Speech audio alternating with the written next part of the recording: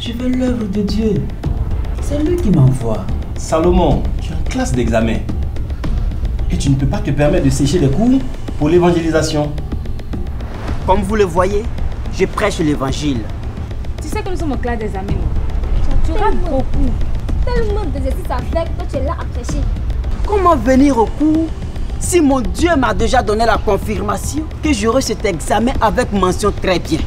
Tes amis sont en train d'étudier, en train de réviser l'exercice de l'année. Toi, tu es assis là, tu ne fous rien.